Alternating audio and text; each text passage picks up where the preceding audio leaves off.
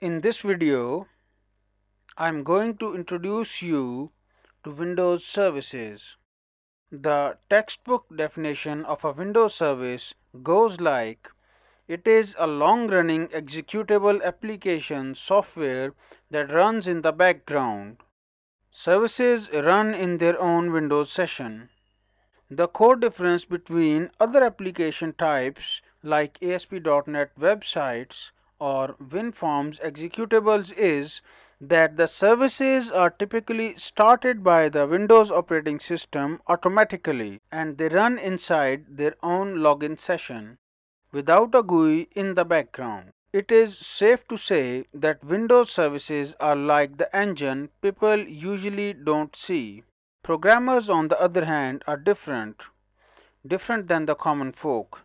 That's why we often get to see such scary stuff. A list of Windows services currently installed on a PC can be seen through the Service Control Manager or SCM. The easiest way to do so is to press the key combination Windows plus R and type services.msc. Let me show you. You may click the OK button or press the Enter key.